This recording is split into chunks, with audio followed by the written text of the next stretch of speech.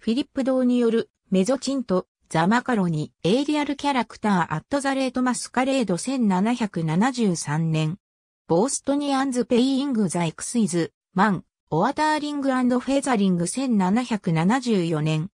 フィリップ・ドーは、イングランドのメゾチント版画家、芸術家、政治風刺家。彼は、1730年代に、ロンドンで、商家の息子として生まれたと考えられている。彼は、ロンドンのケンティッシュタウンで死去した。妻ジェーンとの間に6人の子供を設け、そのうちの3人、ジョージ・ドー、ヘンリー・エドワード・ドー、ジェームズ・フィリップ・ドーは、長じて芸術家となった。ドーは、ヘンリー・モーランドの下で、徒弟修行をし、モアランドの息子、ジョージ・モーランドの名親となった。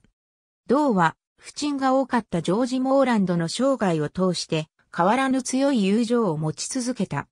同の息子の一人ジョージは、モーランドの伝記、ザ・ライフ・オブ、ジョージ・モーランド・ウィズ・リマークス、オン・ヒズ・ワークスを1807年に出版した。フィリップ・ドーは、ウィリアム・ホガースの下で働いたこともあった。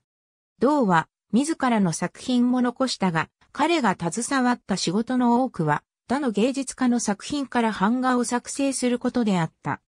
ドーが描いた政治風刺のいくつかの漫画は、ボストン茶会事件の一連の出来事も捉えており、RTH ホール G の著書、 The Boston Port Bill as Pictured by a Contemporary London Cartoonist の中で言及されている。そうした漫画作品には、 The Bostonians in Distress、The Alternative of Williamsburg、The Butcher's Wife Dressing for the Pantheon などがあった。こうした漫画作品は単純な様式で描かれていたが、正確な観察とコメントが付けられていた。1774年、同は代表作とされる、ボーストニアンズ・ペイリング・ザ・エクスイズ、マン、オアターリングフェザリングを発表した。ありがとうございます。